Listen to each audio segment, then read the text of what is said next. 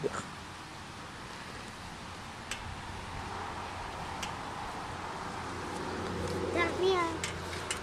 put your legs up so I can push you. Hold on. Oh yeah, you can push me, I think. No, Can you push me? In a second.